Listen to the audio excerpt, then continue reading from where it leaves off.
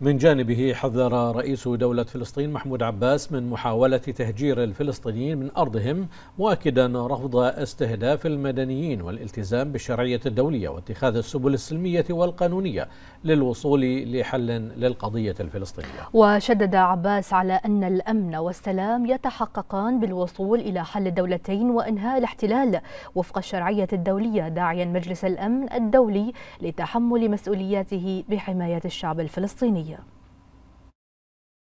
إننا نحذر من محاولات تهجير شعبنا في غزة إلى خارجها كما نحذر من أي عمليات طرد للفلسطينيين من بيوتهم أو تهجيرهم من القدس أو الضفة الغربية.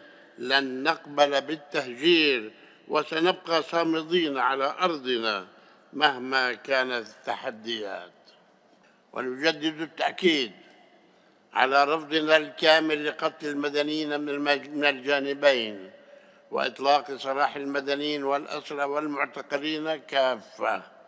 ونؤكد بأننا نلتزم بالشرعية الدولية والاتفاقات الموقعة ونبذ العنف واتخاذ الطرق السلمية والقانونية لتحقيق أهدافنا الوطنية.